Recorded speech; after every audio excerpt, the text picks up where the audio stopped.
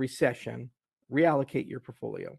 This was always the danger of inviting the Wall Street types in, is that they would just simply treat crypto like any other asset and label it uh, as an exotic high risk one.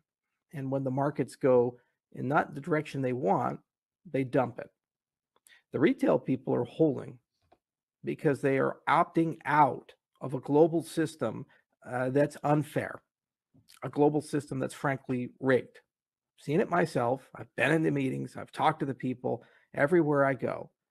They don't give a fuck about sustainability. They don't care at all in any way, shape, or form about whether you live well.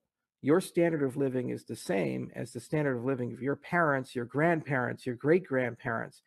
In fact, quite the opposite. They're trying to prepare the masses to accept a standard of living significantly less than the one that they inherited, the one that they grew up with, the one that their parents grew up with. This is no way to run the world. This is no way